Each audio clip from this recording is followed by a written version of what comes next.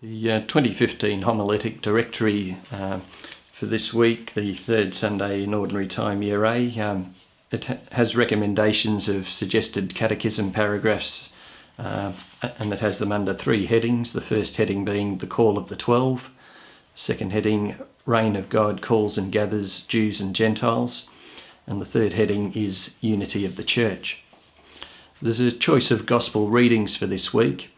Uh, the short version uh, says that after the arrest of John the Baptist, Jesus went to Capernaum. This fulfilled the prophecy of Isaiah about Zebulun and Naphtali, which is in the first reading. And the short version, this short version of the gospel ends with Jesus preaching the message, "Repent, for the kingdom of heaven is close at hand." Uh, that's about the reign of God heading that, that the homiletic directory uses.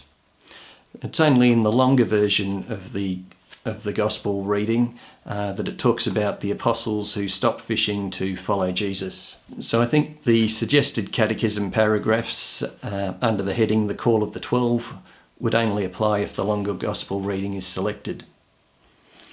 The second reading is from St. Paul's first letter to the Corinthians, where he calls on them to make up their differences and be united again in their belief and practice. This gives the suggested 10 paragraphs of the Catechism under the heading Unity of the Church. A lot of this is from the Second Vatican Council's Decree on Ecumenism, Unitatis Redintegratio.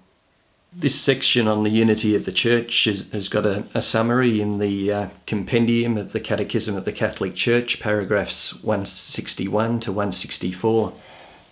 In the uh, Youth Catechism, Youth YOUCAT, there's a summary of it in questions 129 to 131. So to, to summarise the summary, uh, the compendium has, un, under the heading, the Church is one, holy, Catholic and Apostolic from the, the Nicene Creed. The first question the compendium has is, why is the Church one? And it talks about it there being uh, her founder, uh, Jesus, and her soul, the Holy Spirit. Um, question 162 Where does the one Church of Christ subsist? Which is in the Catholic Church. Question 163 How are non Catholic Christians to be considered? And 164 How does one commit oneself to work for the unity of Christians? And talks about their conversion of heart, prayer, fraternal knowledge of each other, and theological dialogue. Some interesting words from the Catechism from this section are apostolic succession, subsists, ecumenism, heresy, apostasy, and schism. Here I've sketched out uh, the 15 paragraphs that are, discussed.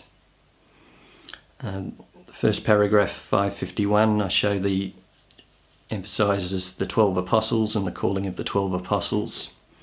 Uh, paragraph 765 looks at the church structure. Here we have under the heading Reign of God three paragraphs. 541 talks about the gospel passage of Repent, the kingdom of God is at hand.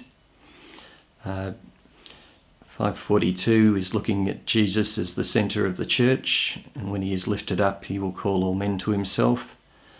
And in 543, the, the image of a, of a field with, with seeds growing, forming the church.